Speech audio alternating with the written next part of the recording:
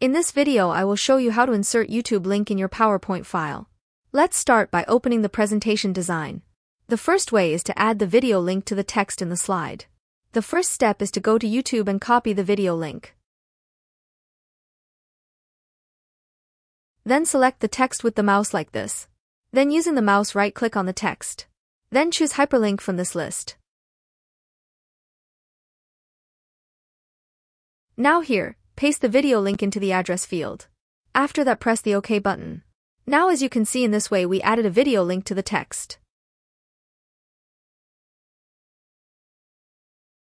When we click on the link, the YouTube video will open with us.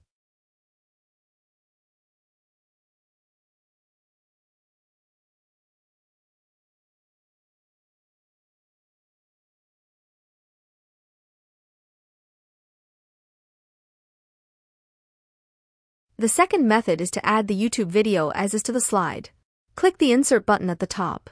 Then click on the Video option. Then choose Online Videos from here.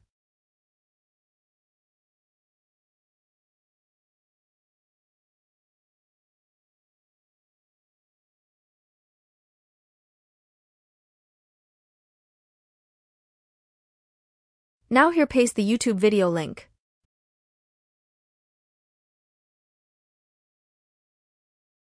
After that press the insert button.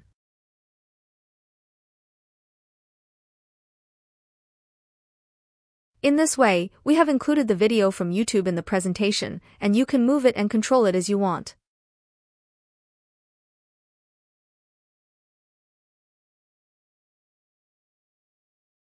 Thanks for watching and don't forget to like and subscribe to the channel.